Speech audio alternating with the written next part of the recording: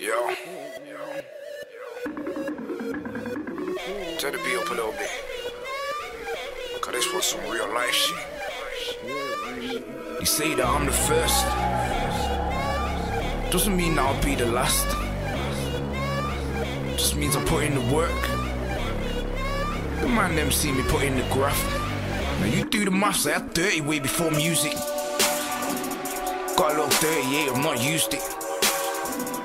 Trying to separate my soul from my body. And when I heard that, I was ready to lose it. But then I prayed to God because I swore down on my mum's life that I didn't want to do this.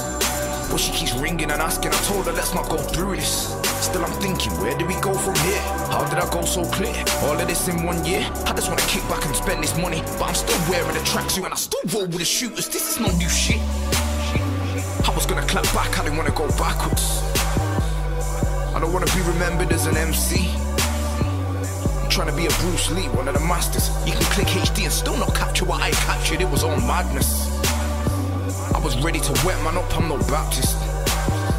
They must think I'm a prick, but I've never been a cactus. Ah well, I just see last year as practice. Now that I know the game, but nobody could predict the way the wind though just shot. Man, I'm looking to blast.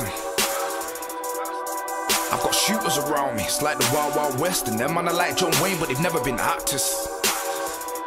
I'm hard like a bed with no mattress. So I had to think from a different perspective. So I tried to look through the eyes of the haters. And then I could understand. Now that I'm on demand and we're close to a hundred grand, they won't live to regret these fucking domestics.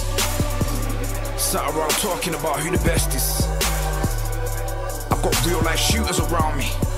It's like the final scene in Scarface, it's that hectic. But we was meant to be family. Until the day you betrayed me. I was gonna let man run in through the front door. Till I heard that he had three babies. And then I pray to God because I see him in hell if he keep testing my patience. I don't need that on my conscience. And it all started over nonsense. And for what?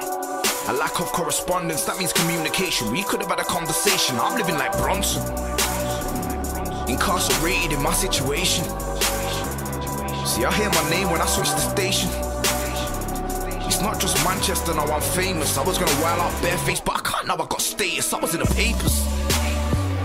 I was in the MEN and it was blatant. Seems like the whole thing came back to bite me. There's no way of saying this bit politely. I feel like quitting the game and making man's body turn icy, but I don't wanna talk no more. I don't wanna talk no more. I don't wanna talk no more. I don't wanna talk no more.